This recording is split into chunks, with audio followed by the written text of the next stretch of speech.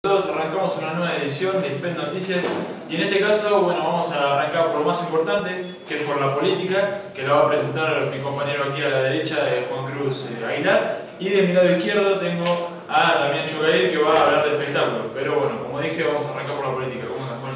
Hola, Ari, ¿cómo estás? ¿Todo bien? Bien, bien. Y sí, noticias, noticias bastante negativas respecto a lo que es la política, ¿no? Tenemos a nuestro país que se encuentra séptimo a nivel mundial, lo que es respecto a la inflación, según lo que es el Fondo Monetario Internacional, ¿no? Un tema bastante delicado que preocupa a lo que es la gente laburante, que se levanta temprano día a día para trabajar y necesita ganarse el pan de cada día.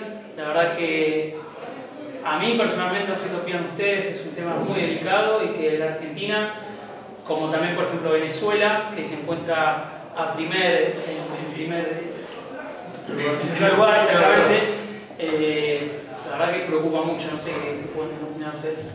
No, sí, este, como todo, eh, más que nada, hablando de Venezuela, que dijiste, es el- Sí, está muy que no delicado. lleguemos- que no lleguemos a eso, ¿no? Está- está- no, esperemos que no. Es, bueno, menos para Nicolás eh, el economista actual de, de Hacienda de nuestro gobierno de Mauricio Macri.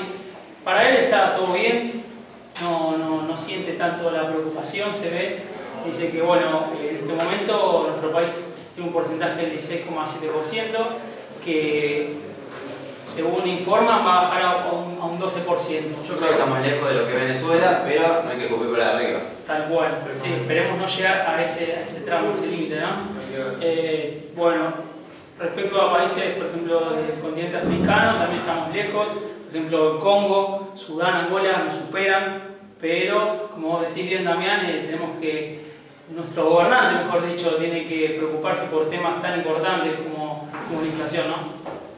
Bueno, justamente, ya que nombrabas a la inflación, eh, este- en este último mes eh, la inflación subió eh, del 1,6 al 18,8% eh, de lo que va del año, el 18,8%, en- entre viviendas, servicios y combustibles, que son lo- los que lideran ¿no? de los aumentos.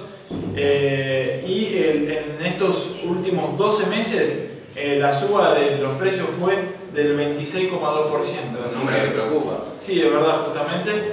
Que, bueno, y, el- y, también que el dólar, ¿no? Queda ahí, pero eh, los, los precios siguen igual, ¿no? Nunca bajan. Por más que baje, no van a bajar el- el- el- los precios de, de, bueno, de las viviendas, los servicios, los alimentos y todo lo que, lo que consumimos. La canasta básica.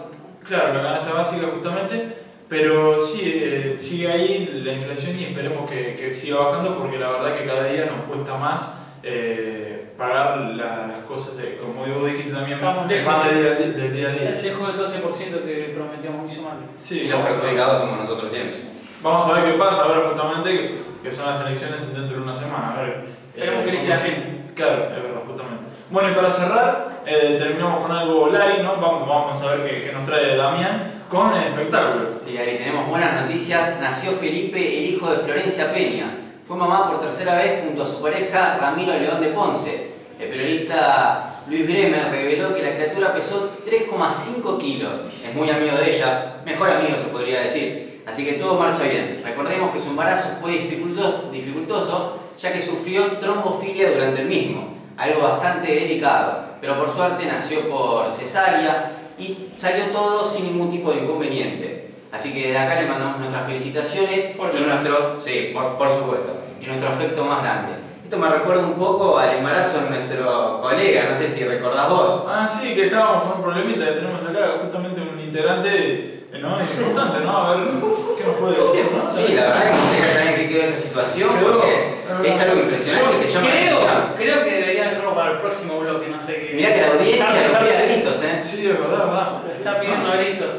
Y el rating, con el rating Claro, pide... Me dijeron, Minuto necesitamos, creo que esta noticia sube. me dijeron que en un rato lo sacamos en línea, ¿puede ser? Ah, bueno, Ah, interesante. Está en línea. Está en línea en este momento. Bueno, ¡Qué complicado! ¿cómo termina esa situación de, de, de su amigo? Se podría decir que está, está en stand-by. ¿Cómo es eso? ¿Cómo es? Está mal para vos, ¿sabes? stand-by, sí, porque si bien todavía yo, recordemos al público ¿no? que nos sigue día a día, de que yo estaba en un veremos de contarle o no lo que había pasado, de lo que me había enterado de esta terrible situación, ¿no? ¿no? de este engaño de su novia, que la verdad que yo todavía, todavía no, no tomé coraje. Eh, no tomé coraje de decirle. Me dicen por recuperar ya que está, está en línea ya para Sí, hola, a ver. Hola, ¿cómo te va? ¿Cómo te va? Bueno, contanos vos con más, eh, eh, Con más detalle. con más detalle justamente, eh, qué es lo que pasó, cómo terminó la situación, si Juan te contó algún detalle, algo. No, si te estás la- enterando en este momento. La verdad que no, no, no entiendo nada, hablan de una situación que no, no sé qué me tiene que decir mi amigo, sé que ahí, bueno, un amigo le mando un saludo, sé que no me falla nunca, la verdad que Juan es, como mi mano derecha, así que, bueno, no Bueno, sé pero qué me entonces- tiene que decir, la verdad no, no bueno, entiendo nada. bueno, se está enterando ahora que claramente. Me llama la atención que tu mejor amigo no sepa esta situación. No, porque yo no quiero, no quiero perder tu amistad, Nico. La verdad que sería duro decirte en La cámara. No, no, La verdad que me preocupas, no, no sé a qué te referís con perder la amistad. Contar, yo para mí no tenés que decir, porque no. Cuando tenga pancita, ¿qué vas a hacer? Y eso puede ser posible, papá En el próximo bloque. Ya, bueno, para el próximo bloque vamos a terminar lo que seguramente vamos a tener más audiencia seguramente por el horario también, así que bueno, lo dejamos y en el próximo, en el próximo, la semana que viene, perdón, eh, vamos a continuar con este tema del amigo de Juan. Hasta luego.